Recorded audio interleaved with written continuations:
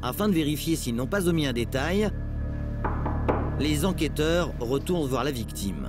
Bonjour, on vient aux nouvelles. Comment allez-vous? Bonjour. Bon, cette main alors? Toujours dans la tête? Ouais.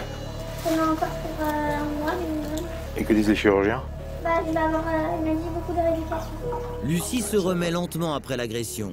Deux choses. Euh, on va faire vite fait un cheminement. Comment ça s'est passé Vite fait pour que- confirmer tout ce qu'on avait dit sur votre plainte. ouais. Donc vous, Je sors de chez moi. Oui. et là, il y a quelqu'un qui arrive. Bah, puis au moment où on est... Parce que j'ai le temps quand même de terminer la porte. Ouais. La personne qui arrive, elle arrive.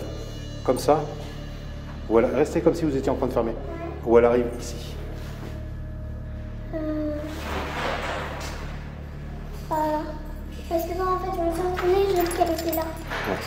Je pense que- Je pense qu'au début, il devait être planqué là-dessous.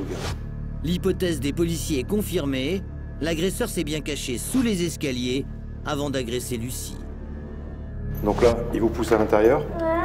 Ok. Et après je me retrouvais là, donc euh, par terre à la base. Ouais. Donc euh, il me tapait, il me tapait. Les policiers le constatent, tout semble extrêmement bien préparé. D'autant plus que les deux agresseurs avaient visiblement tout le matériel, et notamment du serflex, des menottes en plastique pour entraver la victime. Il m'a essayé de me mettre un serflex. Il m'a accompagné jusque dans la chambre d'amis. Enfin, au départ, j'étais là, il y a l'autre qui est rentré, il m'a accompagné ici. Ouais. Donc là, c'était pas comme ça, je, il m'a demandé de m'allonger, je me suis assise sur le canapé. Ouais. Fous dans la Et bain. après, il m'a mis dans la salle de bain. Donc euh, au départ, j'étais là pour. euh, j'étais là ici Ouais, la pharmacie. pour euh, mettre de la bétadine, donc j'ai été Ouais. brassée là. Et puis vous finissez prostré là, ici. Et après, ici, assise par terre. Ok, d'accord. Ouais, ben c'est bon. Ça marche. Là, il faut rester combien de temps Euh, bah là, une bonne heure. hein. Ouais, une bonne heure. Et le mec, il venait régulièrement là? Ouais. Et toutes les 5 minutes, il ouvrait la porte, il regardait euh, si j'avais la tête euh, par terre. euh. Au final, l'agression aura duré plus d'une heure et demie, de 7h25 à 9h.